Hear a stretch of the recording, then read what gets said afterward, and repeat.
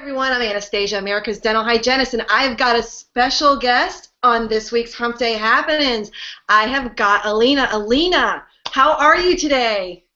I'm good. How are you doing? I'm fabulous. You know what? I ran across your product, and I got to tell you, from one entrepreneur to another, I've noticed that we've all like candy, and who doesn't? I mean, we like it on a daily basis, maybe even a little bit more than we should.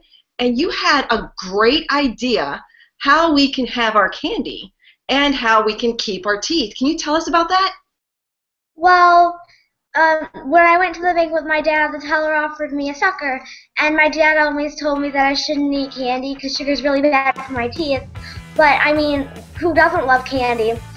So I asked, well, why can't we make a healthy sucker that actually cleans your teeth so I could eat candy all the time?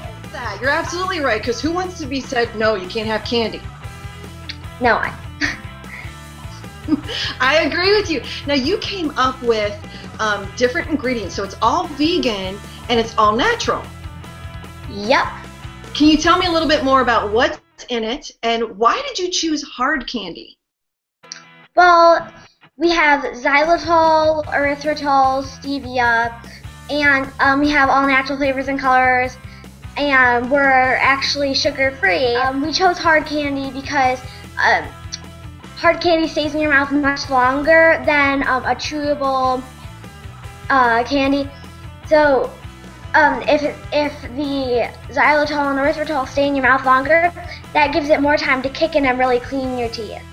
This is this is so important, and I applaud you for this. This is just really nice to be able to share with my patients and parents, hey, you know what, there's a product out here that we can use. Don't you have strips or something where we can see the pH in the mouth and when that becomes acidic and then when it obviously becomes healthy? Well, yeah, actually, we have a pH test to see if Zollipops actually work. Um, we use pH test strips. Um, we try one before and keep it uh, and keep the strip in your mouth for about 20, 25 seconds, and then you take it out, and um, on the bottle it gives you all of the different uh, shades that it could be, and all those shades mean like the the very acidic and up to the um, a good valence level, and um, uh, so you test it before before a Zollipop, like usually after a meal, and then you have a Zollipop, and then you put one put a new one in your mouth, and then your pH is actually higher.